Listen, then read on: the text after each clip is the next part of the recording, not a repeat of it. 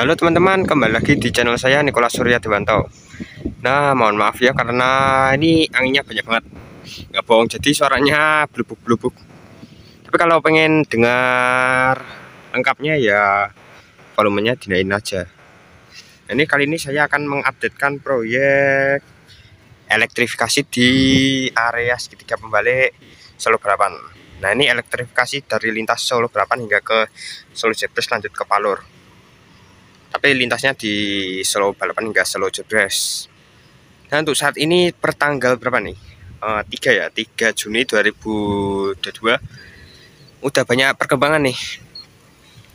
Nah itu kan uh, apa tuh namanya? Yang buat gantol ke kabel-kabel itu kan kemarin dulu-dulu yang bulan lalu masih di situ. Tapi videonya belum saya upload sih. Nah di situ kan di di situ, situ ada. Nah di situ, situ sekarang udah dinaikin ke atas. Kalau di sebelah sananya juga sama sih mirip-mirip itu kan di bulan lalu ya yang arah ke Solo Jebres sana.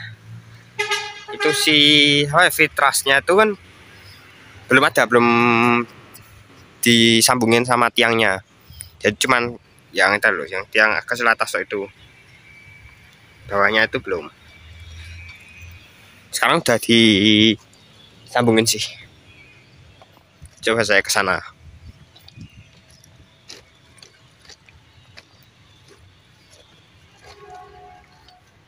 Oh itu KR-nya OTW ke Jogja. Itu tuh tuh tuh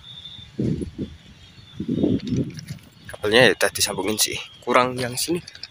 Yang sini belum.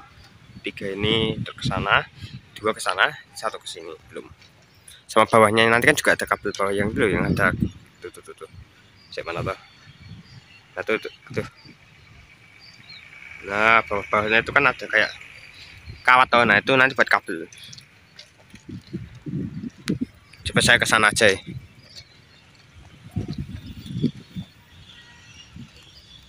Maaf teman-teman ini videonya goyang-goyang ya karena itu waktu itu kan tripod saya gara-gara kelindian sama dus. Jadi pecah. Yaudah akhirnya ya saya pegangin. Mungkin habis ini saya coba beli tripod baru atau beli gimbal aja ya buat upgrade.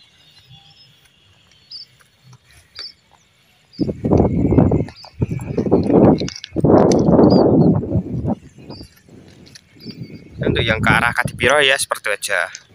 Cuman buat jalur listrik penghambat penghambat listrik?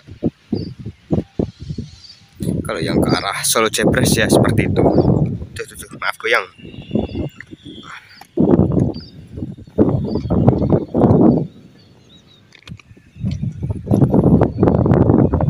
Dan ini coba saya foto dulu buat thumbnail.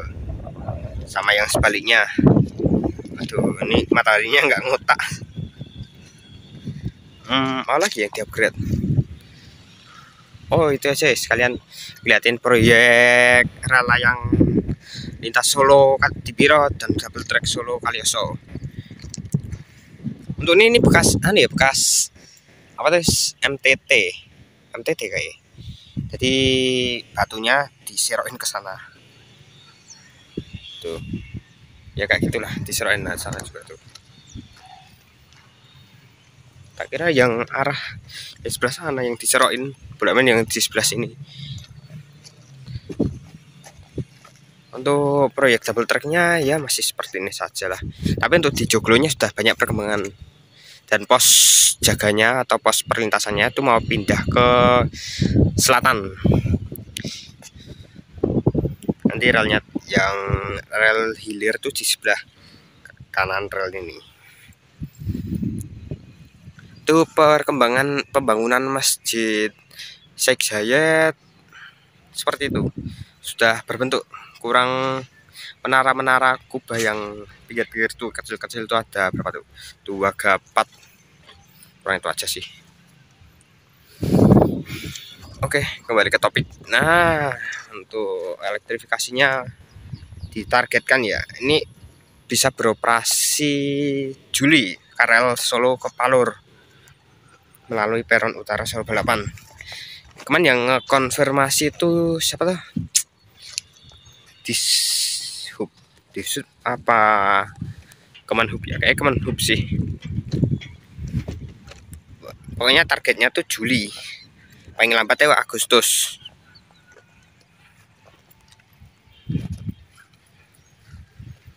Itu pesan aja lah biar nggak back hmm, yang jadi permasalahannya ntar, ntar. Saya tunjukkan saya.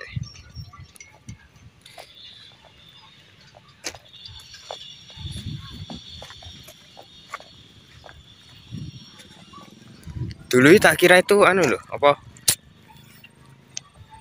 Lintas KRL-nya tuh dari Solo ke Solo Jabresnya tuh lewat jalur raya nih, lintas selatan. Boleh main lewat situ, lewat cekungan segitiga pembalik. Itu sampai sana sudah diberi fitras tuh sampai sana. Entah supaya saya zoom ya.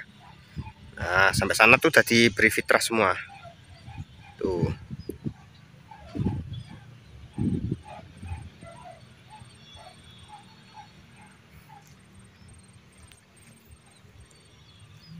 Barunya dari ini di atas anu di atas kalen. Jadi di bawah ini kalen sih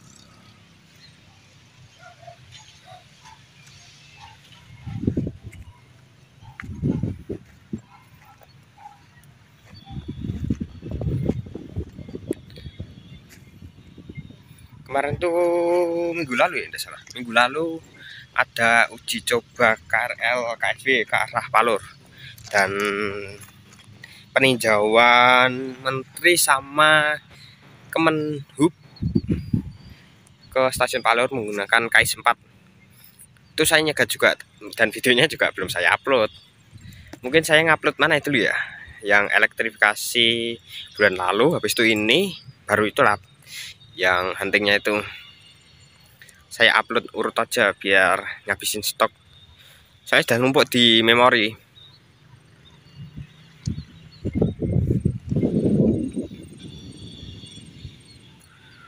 Oh iya, tadi kan saya lihat-lihat di peron stasiun Solo Balapan toh.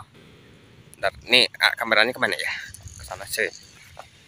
Daripada ke sana backlight. Nah, ke sana aja.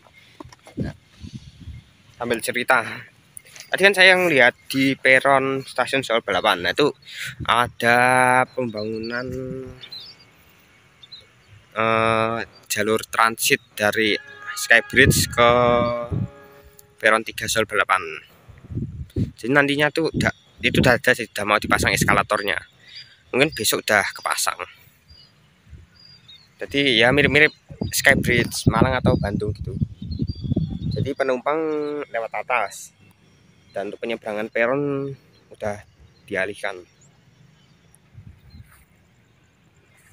Saja ya bendak backlight ya, jadi itu dari atas skybridge turun melalui eskalator ke peron 3 yang menghubungkan jalur 2 dan jalur 3 Solo Balapan. Jalur 3 dan tadi jalur 4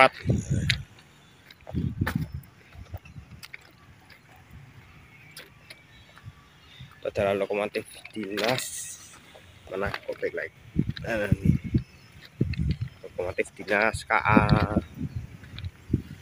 tapi loh KA 10C Argo Dwi Pangga. Sisi 206 livery Idul Fitri. Atau livery ketupat ketupat sih nah ini yang jalurnya habis dipecoki sama di crasher nih